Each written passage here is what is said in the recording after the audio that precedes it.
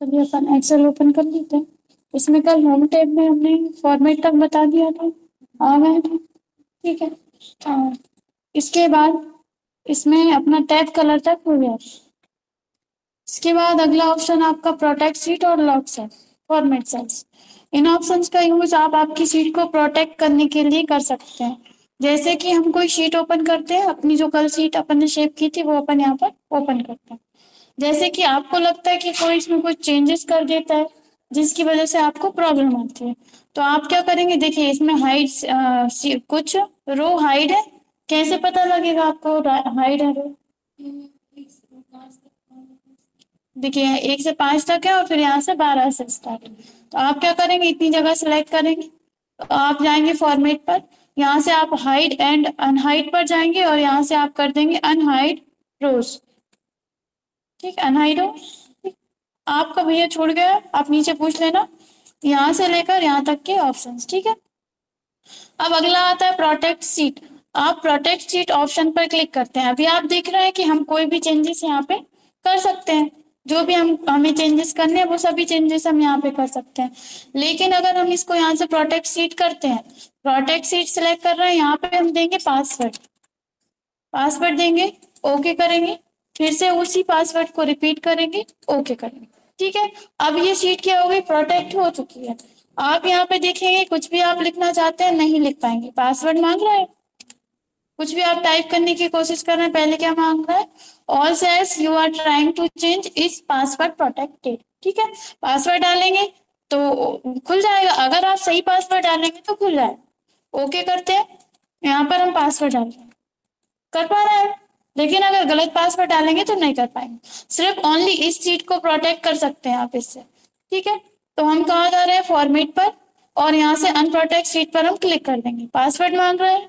जो पासवर्ड था वो हम पासवर्ड डालेंगे और ओके कर देंगे। देखिए, सभी ऑप्शन हाईलाइट होने लगे। और हम यहाँ पर कोई भी चीज़ टाइप यहाँ पे कर सकते हैं। ठीक है? कैसे देना है, आप यहाँ पे जाएँगे प्रोटेक्ट सीट ऑप्शन पर क्लिक करेंगे। अब आपको ध्यान रखना, ये जो दो ऑप्शन है, इन पर क्लिक होना चाहिए। अगर इन दोनों ऑप्शन पर क्लिक नहीं है तो फिर आप सीट को प्रोटेक्ट नहीं कर सकते। यहाँ से भी कर सकते हैं। दूसरा, मान लीजिए हमें इस वाली सीट को प्रोटेक्ट करना है तो यहाँ पर इस सीट के ऊपर राइट क्लिक करेंगे। यहाँ से हमने आपको बताया था डिलीट करना रीनेम करना, ये सब। यहीं पे आपको नीचे ऑप्शन मिलता है प्रोटेक्ट सीट वाला। आप इस पे क्लिक करेंगे। देखिए वही ऑप्शन आ रहा है सेम ऑप्शन ठीक है? आप यहाँ से क्या करेंगे? पासवर्ड दे देंगे। जो भी आपको देना है। और फिर इसके बाद आप करेंगे ओके ओके करने के बाद उसी पासवर्ड को आपको डबल से डालना है, जो आपने यहाँ पे डाला था। ठीक है? तो आप यहाँ पर डबल से उसी पासवर्ड को रिपीट करेंगे। और यहाँ से ओके कर देंगे। अब आपकी जो शीट है, वो पासवर्ड प्रोटेक्टेड हो गई है। आप देखेंगे ऊपर वाले सभी ऑप्शन हाईलाइट नहीं हो रहे हैं। कोई से भी आप ऑप्शन दीजिए, सभी ऑप्शन बंद हो चुके आप यहाँ पर कुछ टाइप करना चाहते हैं पासवर्ड मांग रहे हैं, ठीक है? आप यहाँ पर कुछ टाइप करना चाहते हैं, देखिए, इस तरह से पासवर्ड मांग रहे हैं। पासवर्ड आपको देना पड़ेगा, कहीं भी, पूरी शीट में, कहीं पर भी आप कुछ करेंगे, आपको पासवर्ड देना ही पड़ेगा, तभी वो होगी, ठीक है? अब आपको इसको अनप्रोटेक्ट करना है तो कैसे करेंगे? उसी ऑप्शन पर जाएँगे अनप्रोटेक्ट सीट ऑप्शन पर क्लिक करेंगे पासवर्ड दे देंगे, और ओके कर तो अब आप इसमें कोई भी चीज़ टाइप कर सकते हैं।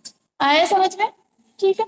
तो इस तरह से आप इस इसका यूज़ कर सकते हैं, लेकिन सिर्फ़ जो सीट आपने सिलेक्ट की थी, वही सीट पासवर्ड में आएगी। अगर आप किसी अदर सीट पर जाते हैं तो ये इस पे पासवर्ड नहीं लगेगा। सिर्फ़ किस पे लगेगा? जिस पे आपने लगाया है। मतलब आप चाहते हैं बल्कि बुक प्रोटेक्ट हो जाए तो नहीं होगी। सिर्फ़ सीट अकेली प्रोटेक्ट होगी। क्लियर है? ठीक है। अब इसके बाद यहाँ पर नेक्स्ट ऑप्शन आपको मिलता है लॉक सेल वाला फॉर्मेट में। नीचे आ रहा है लॉक सेल आप इस ऑप्शन पर क्लिक करें। तो इसका क्या यूज़ रहता है? जैसे कि जैसे कि हमने यहाँ पर किसी को कुछ काम दिया है कि आप इतनी जगह में तो कोई भी एडिटिंग कर सकते हो, लेकिन इसके अलावा और किसी जगह में नहीं कर सकते। तो आप क्या करोगे? पासवर्ड दे दोगे, क्योंकि हो सकता है वो इधर उधर भी एडिटिंग कर दे। जैसे कि हमने मान लीजिए ये पूरे नंबर यहाँ से हटा दिए। सिलेक्ट किया और इसको डिलीट कर दिया। देखिए सबका क्या आ गया? ज़ीरो ज़ीरो ज़ीरो आ गया। ठीक है, अब हम जैसे ही इनके नंबर टाइप करेंगे तो यहाँ पर बढ़ता जाएगा। ठीक है, जैसे कि हमने यहाँ पर फोर्टीन लिखा, यहाँ पर फोर्टी फाइव लिख दिया, यहाँ पर कोई और संख्या लिख दी, और यहाँ पर जैसे ही लिखते जा रहा है तो यहाँ पर आप देख रहे हैं कि परसेंटेज बढ़ता जा रहा है। देखिए ग्रेड सप्ली सब आ गए बाकी सब फेल फेल पास पास इस तरह से बता रहा है। तो अब आप यहाँ पे क्या करेंगे? आपने किसी को ये काम दिया है कि अगर, लेकिन अगर किसी ने यहाँ से फॉर्मूला हटा दिया, जैसे कि ये वाला फॉर्मूला है, ये किसी ने गलती से डिलीट कर दिया। डिलीट हो गया। अब अगर आप इसमें कुछ लिखोगे तो यहाँ पे कुछ आ रहा है? नहीं आ रहा। तो आप ये चाहते हो कि कोई अगर फॉर्मूला आपका डिलीट ना कर पाए गलती से मतलब गलती से भी और जानबूझकर भी कोई डिलीट ना कर पाए। सिर्फ़ इतनी ही जगह में कोई टाइप कर पाए। आपने किसी को काम दिया है कि आपको स्टूडेंट के नंबर चढ़ाने हैं ओनली तो आप क्या करोगे? उतनी जगह सिलेक्ट करोगे।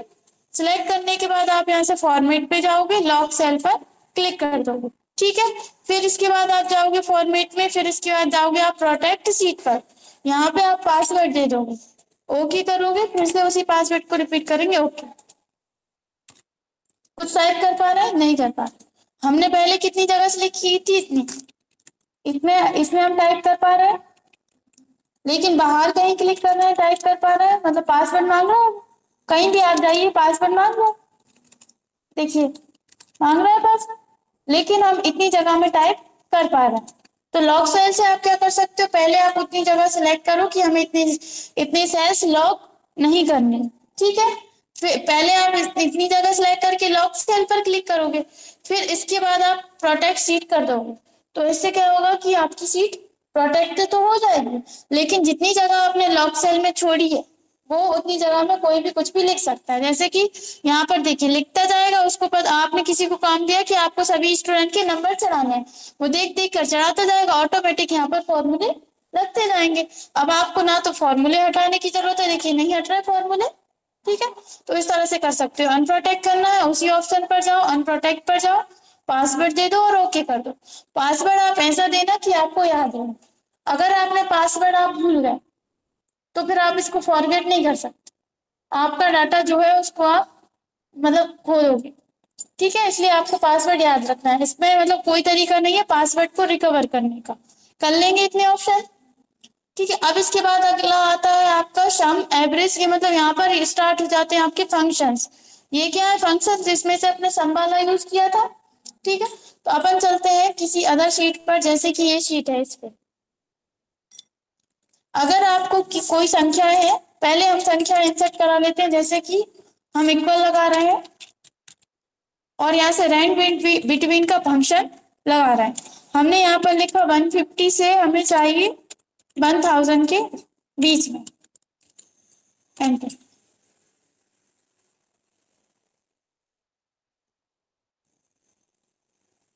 इसको हमने नीचे की साइड ड्रैग किया। साइड में माउस पॉइंटर लेकर जाएँगे और इसको अपन आगे की साइड पे ड्रैग कर देंगे। कंट्रोल सी से कॉपी करेंगे पेस्ट वैल्यूज़ पर जाएँगे और इस पर क्लिक कर देंगे। ठीक है? अब इसके बाद आता है आपका सम का फॉर्मूला आप डायरेक्टली यहाँ पे इस तरह से आपने सिलेक्ट किया और आपने एक एक्स्ट्रा कॉलम सिलेक्ट किया। और आप यहाँ से जाएँगे सम ऑप्शन पर क्लिक करेंगे। तो सभी को ये क्या कर देगा? प्लस करके दे देगा। लेकिन अगर आप आ रहा है समझ में? अगर आप यहाँ पर सिलेक्ट नहीं करते, एक एक्स्ट्रा कॉलम सिलेक्ट नहीं किया हमने, सिर्फ़ इतना ही सिलेक्ट किया और हमने यहाँ से संपर्क क्लिक किया। तो वो कहाँ दे रहा है? नीचे। इसलिए आपको अब समझ में आ गया होगा कि अपन एक्स्ट्रा सेल क्यों सिलेक्ट करते हैं। ठीक है एक्स्ट्रा सेल अपन इसलिए सिलेक्ट करते हैं ताकि वो आंसर आपको इसमें दे दे। ठीक है, अगर आप एक्स्ट्रा सेल सिलेक्ट नहीं करोगे तो वो कहाँ देगा? नीचे। अब ये फ़ंक्शन कैसा होता है?